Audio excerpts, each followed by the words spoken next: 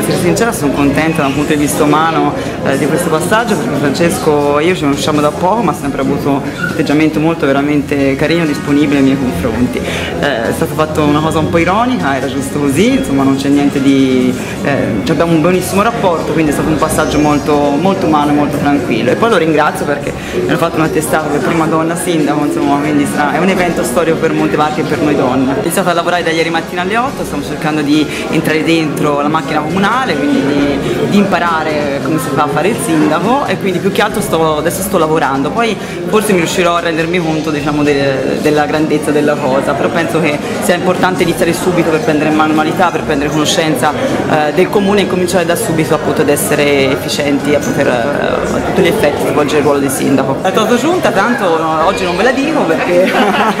quindi, no, ormai siamo alla fine, stiamo decidendo gli ultimi dettagli, verrà fatto, posso dire questo, il primo consiglio il 5 luglio, eh, quindi è stato deciso, deciso stamattina appunto la data, quindi se non ci sono cose problematiche in corso, insomma il 5 luglio ci, ci insediamo e prima naturalmente vi comunicherò la giunta.